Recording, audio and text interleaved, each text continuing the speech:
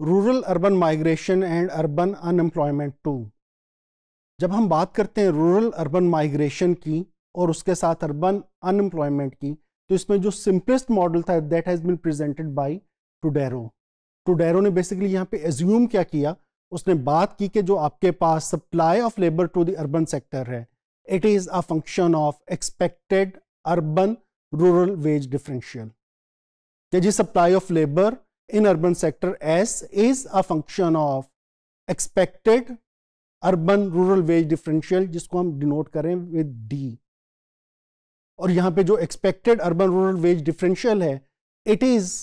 equal to actual urban wage rate multiplied with the probability of getting a job in the urban sector minus the wage that lies in the rural sector कि expected rural urban wage differential D is equal to pi into W minus R और जो जो मेरे पास pi है it denotes the probability of getting a job in the urban sector और जो मेरे पास डब्ल्यू है it denotes the way real wage that lies in the urban sector और आर मेरे पास डिनोट कर रहा है यहाँ पे the wages that lie in the rural sector और जब हम बात करते हैं probability of getting a job in the urban sector तो हम यहाँ पे एज्यूम किया गया कि it is directly related to new job creation और उसके साथ साथ ये क्या है? It is inversely related to the level of urban unemployment और जब हम न्यू जॉब क्रिएशन की बात करते हैं, ये न्यू जॉब क्रिएशन है बेसिकली गैमा इंटू एन और एन मेरे पास यहाँ पे डिनोट कर रहा है लेवल ऑफ़ अर्बन एम्प्लॉयमेंट को while gamma is rate of new job creation और इसमें डब्ल्यू मेरे पास यहाँ पे हम डब्ल्यू क्या है? मेरे पास एक कैपिटल वर्ल्ड डब्ल्यू में यूज़ कर रहा हूँ, जो डिनोट कर total labour force in the urban sector और जो मेरे पास यू है इट डिनोट्स अर्बन अनएम्प्लॉयमेंट के अगर हम टोटल लेबर फोर्स में से एम्प्लॉयड लेबर फोर्स को सब्ट्रैक्ट करेंगे तो मेरे पास जो रिमेनिंग पार्ट होगा it denotes the un urban unemployment. The probability of getting a job is equal to gamma n over u n denote कर रहा है level of urban unemployment gamma denotes rate of new job creation and u denotes urban unemployment हाँ जी ये जो expected wage rural urban wage differential है तो हमने इसको लिखा था this is equal to probability of getting a new job into wage rate that lies in the urban sector minus rural wage level. और यहाँ पे जो पाई है it denotes the probability of getting a new job और ये जो probability of getting a new job है that is equal to gamma N over U और ये जो मेरे पास, जब हम इसको रिप्लेस करेंगे in the expected wage differential equation तो मेरे पास इक्वेशन बन जाएगी D is equal to gamma N W over U minus R. कि जो आपके पास एक्सपेक्टेड अर्बन वेज डिफरेंशियल है that is equal to gamma N W over U minus R और अगर हम यहाँ पे एज्यूम करें कि there is no wage differential in the rural and urban sector तो मेरे पास डी किस चीज़ के इक्वल होगा? D is equal to zero और if D is equal to zero तो हम यहाँ पे ये जो, जब इस इक्वेशन को रीअरेंज करेंगे तो अल्टीमेटली मेरे पास एक एक्सप्रेशन बनेगा जिसको हम डिनोट कर रहे हैं with unemployment is equal to gamma N W over R और इस इक्वेशन में जो मेरे पास इक्विलिब्रियम लेवल ऑफ़ अनएम्प्लॉयमेंट है it directly relates with the urban wage कि जी अर्बन वेज अगर इंक्रीज होगी कीपिंग अदर थिंग्स कांस्टेंट तो आपके पास जो इक्विलिब्रियम लेवल ऑफ़ अनएम्प्लॉयमेंट है in the urban sector it will increase फिर इसी तरह अगर level of urban employment increase करेगा कि अगर आपके पास एन इंक्रीज करेगा, तब भी आपके पास अर्बन अनएम्प्लॉयमेंट क्या होगी? इट विल इंक्रीज और अगर आपके पास रूरल वेजेस इंक्रीज कर जाएँ तो अर्बन अनएम्प्लॉयमेंट पे क्या इंपैक्ट आएगा? इक्विलिब्रियम लेवल ऑफ़ अनएम्प्लॉयमेंट पे इट विल डिक्रीज अगर आपके पास rate of new job creation increase हो, कि there is increase in the value of gamma again क्या होगा? अर्बन अनएम्प्लॉयमेंट विल इंक्रीज और ये जो एक्सप्रेशन मेरे पास बना है, अगर मैं इसी एक्सप्रेशन में अनएम्प्लॉयमेंट को डिवाइड कर दूँ विद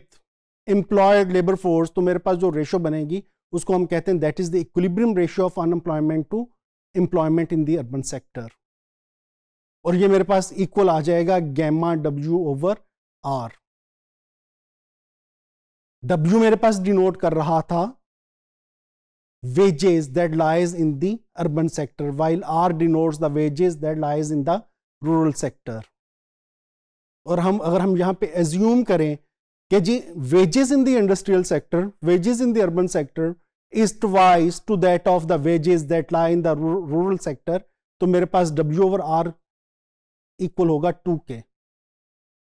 और अगर मैं गैमा की यहाँ पे वैल्यू एज्यूम करूँ it is equal to point zero five तो मेरे पास जो equilibrium ratio of unemployment to employment आएगी it is equal to ten percent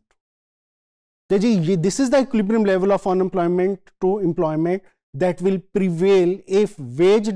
if industrial wages is twice to that of the rural wages. And the pro, or probably and the gamma is equal to 0.05 अब यहाँ पे अगर हम policy variables की बात करें, कि अगर मैं यहाँ पे बात करूँ rate of new job creation तो जी गैमा मेरे पास क्या था? Gamma is the rate of new job creation और यह किस चीज़ का फ़ंक्शन है? It is a function of urban wages and the policy parameter हमने पॉलिसी पैरामीटर को डिनोट किया विद ए ये पॉलिसी पैरामीटर क्या है? These are the activities that enhance that increases the employment opportunities in the urban areas हाँ जी, किसके control में होगा? These are the variables that are under the control of government. कि government will formulate such a policy जो आपके पास urban areas में जॉब क्रिएशन को इंक्रीज करेगा। हमारी यहाँ पे एजम्पन क्या है कि there is positive association between rate of urban job creation and policy variable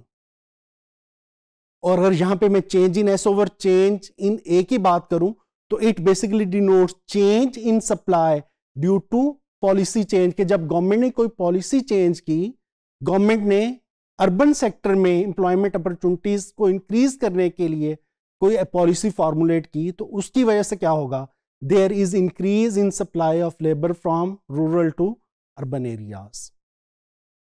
और because of that policy variable there is increase in rate of job creation अगर मैं एन को मल्टीप्लाई कर दूँ with change in M over change in A तो ये मेरे पास आएगा absolute number of new jobs creation ये न्यू जॉब्स क्रिएशन क्यों हुई? बिकॉज़ ऑफ़ पॉलिसी चेंज और अगर अब हम यहाँ पे एज्यूम करें कि if change in supply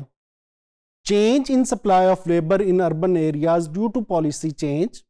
supply में चेंज कहाँ से आएगी? जब आपके पास रूरल एरिया से अर्बन एरिया में लेबर माइग्रेट करेगी if change in supply of labour due to policy change is greater than absolute number of new jobs created तो यहाँ पे क्या होगा? It result in increase in unemployment in the urban areas